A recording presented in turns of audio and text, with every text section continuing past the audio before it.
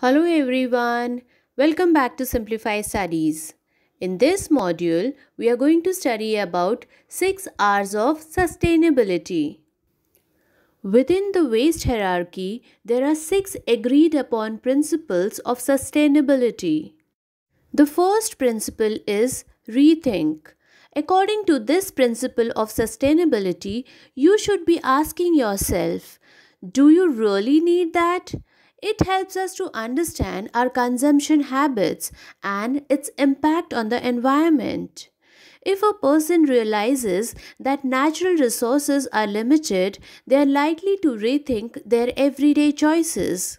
The second principle is to refuse. It refrains you from buying stuffs you don't need.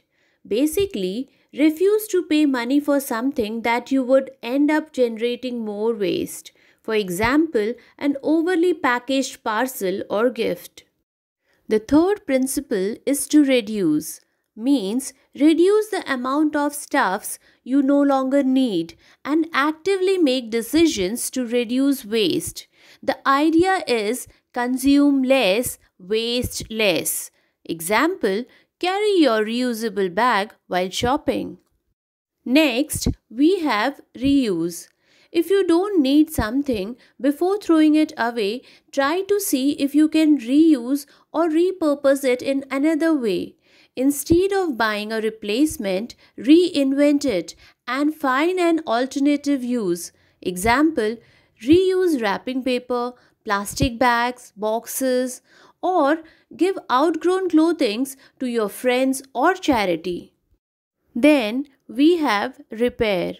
Before you recycle, try to fix it.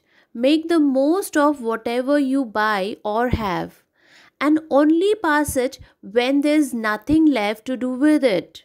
And the last R stands for recycle.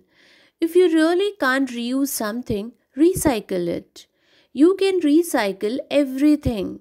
Example, by separating your waste, you help it reach the right treatment center this way, you can help in making another new product, which means you're not using any new reserve of natural resources and contributing to sustainable development. People, planet, and profit can only survive if we take care of above 6 R's of sustainability. That's all for today. Have a good day.